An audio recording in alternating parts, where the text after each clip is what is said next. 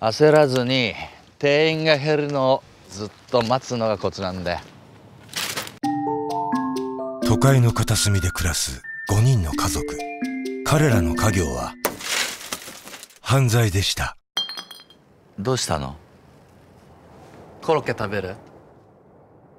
それ食べさせたら返してきなよ。今日外寒いんだよな。誘拐である。どうしたのこれ？戻るって言うと思ったけどね。選ばれたんかな私たち。これお前が好きなやつだ。ろそのうち教えてやるから。えー、めっちゃ可愛いじゃん。